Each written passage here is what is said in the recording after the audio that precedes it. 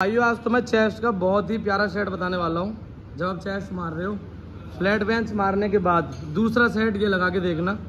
बहुत ही बहुत ही प्यारा सेट है। मतलब चेस्ट इतनी अच्छी पंप हो जाएगी और जिसकी चेस्ट वीक है, उसके लिए रामबाण इलाज है। ठीक है ना भाइयों? चलो, अब मैं बताता हूँ। चल, नीसू, लगा देखो। दो, तीन, चार, पाँच, छ, सात, आठ। चल, नौ दस, ग्यारह, बारह, तेरह, ये देखो पंप कैसी हो रही है? चौदह, पंद्रह, सोलह, सत्रह, अठारह, उन्नीस, अब बीस अब बीस क्लोज मार। एक, दो, तीन, चार, पाँच, ये देखो भाई छः कैसे पंप हो रही है? सात, आठ, नौ, दस, ग्यारह, बारह, तेरह, चौदह, पंद्रह सोलह चल सत्रह, अठारह, उन्नीस, बीस। अब अठारह अठारह, आ जा, दोनों। चल एक, दो, तीन, चार, पाँच छ सात, आठ चल नौ, दस, ग्यारह, बारह, तेरह, चौदह, पंद्रह, सोलह, सत्रह, अठारह। चल हार नहीं माननी। अठारह ये ले।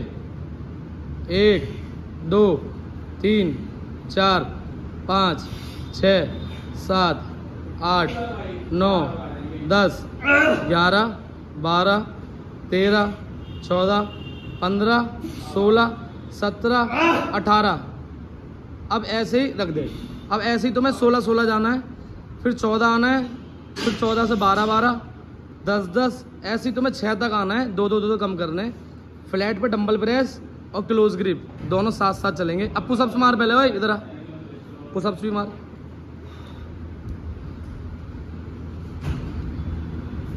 चल।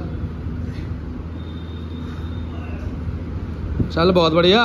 एक, दो, ऊपर आ। तीन और ऊपर आ। चार, पाँच, छ, सात, आठ, नौ, दस, ग्यारह, बारह, तेरह, चौदह, पंद्रह चल पाँच और मार दे। सोलह, सत्रह, अठारह। दो और। एक और। अब खड़ा हो। खड़ा हो। स्क्वीज कर। सीधा खड़ा हो, थोड़ा सीधा खड़ा हो। ये देखो भाई, बिल्कुल पंप बहुत प्यारा आ रहा है। ठीक है ना? अगर तुम्हें तगड़ा होना है, अच्छी चेस्ट बनानी है तो भाई ये वाला एक बार सेट ज़रूर ज़रूर मार के देखना। हर कोई मार सकता है। जो कंपटीशन की तैयारी कर रहा है कटिंग बेस पे वो भी मार सकता है। ठीक है ना?